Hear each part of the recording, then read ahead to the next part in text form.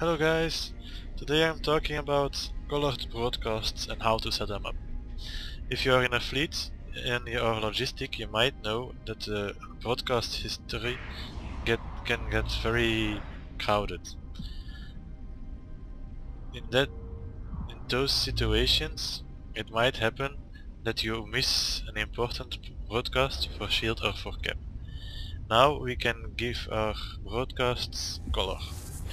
To set those colors up, you go to the top left of the broadcast history, click on the three horizontal lines, go to broadcast settings, and on the right of each broadcast there's a small square.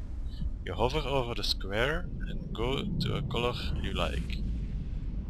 For shield I choose red, for in position I choose green and for capacitor I choose orange. Now you see the overview has mo much more color and it's much easier to see what broadcasts that are important for you. I hope this helped you guys. Fly safe